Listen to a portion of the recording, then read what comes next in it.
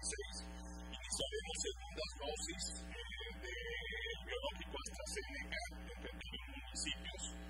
Van a tener 69 puntos. Va a ser para los adultos de 50 años y más y embarazadas que hayan cumplido su primer trimestre. Los municipios, eh, como ya decía,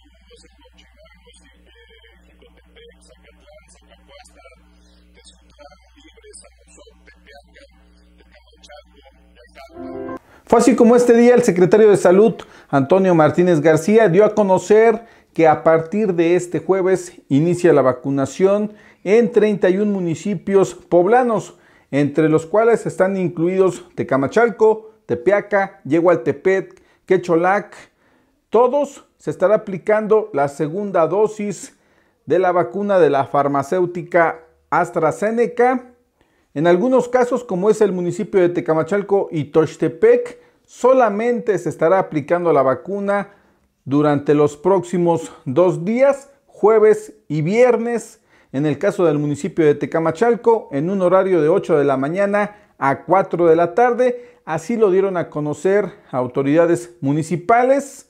Como ustedes pueden ver en las imágenes que les estoy presentando en este momento, durante la tarde de este miércoles fue colocada la lona que está en la explanada del Hospital General de Tecamachalco, uno de los dos puntos de vacunación. El otro punto es la primaria Josefa Ortiz de Domínguez, ubicada en la Junta Auxiliar de San Mateo Tlaixpan. Es importante que lleven la documentación que está apareciendo justamente en este momento en la pantalla para que reciban la segunda dosis.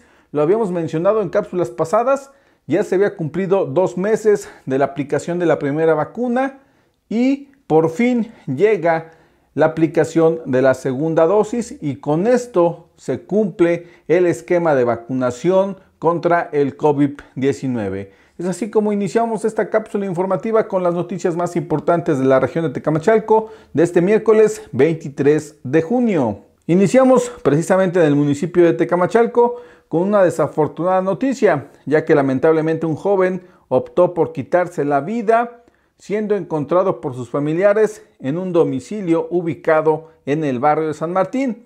El hecho generó la movilización de los cuerpos de emergencia. Y este día el gobernador del estado de Puebla sostuvo una reunión con los diputados electos de mayoría relativa y de representación proporcional de los partidos de Movimiento de Regeneración Nacional, Morena, del Partido del Trabajo y también del Partido Verde Ecologista. Entre los invitados estuvo la representante del distrito de Tecamachalco. Y vamos con la siguiente nota, ya que a través de las investigaciones y de los informes que presenta el Observatorio Ciudadano y Gabim, con cifras del Secretario Ejecutivo del Sistema Nacional de Seguridad Pública, chequen ustedes, en 2020 en el municipio de Tecamachalco solamente el 40% del total de carpetas de investigación iniciadas se concluyeron. ¿Esto qué quiere decir? Que del total de denuncias presentadas ante la gente del Ministerio Público, solamente 40% fueron concluidas.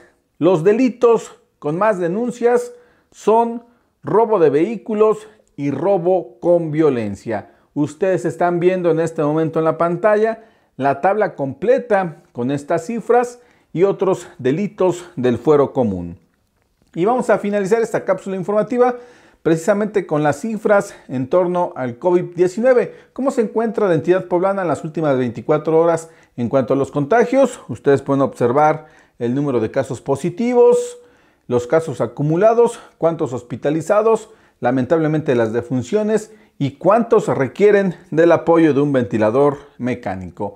Es así como llegamos al final de esta cápsula informativa. Los invito para que este jueves estén atentos a nuestras redes sociales. Estaremos publicando información en torno a esta jornada de vacunación de la aplicación de la segunda dosis de la vacuna contra el COVID-19 de la farmacéutica AstraZeneca. Cualquier duda, comentario, mándenos un inbox y estaremos respondiendo a la brevedad. Mientras tanto, les deseo un excelente día y sigan informados a través de Radioteca. Hasta pronto.